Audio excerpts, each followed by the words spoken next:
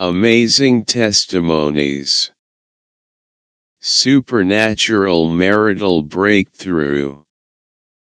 I joined this commission in 2012.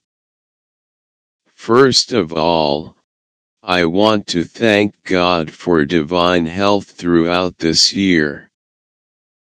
Secondly, I want to thank God for my sister who has been long overdue for marriage. I saw Pastor Isaac Folagy and he said everyone that desires marital breakthrough shall experience it.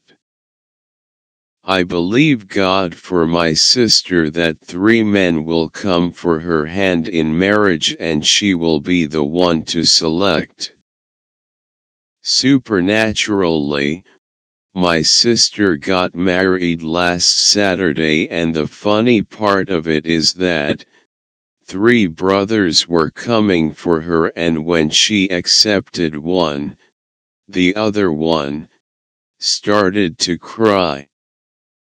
I want to give God all the glory. Bro Lucky E. Come serve with us at Living Faith Church also Winners Chapel. Like and share.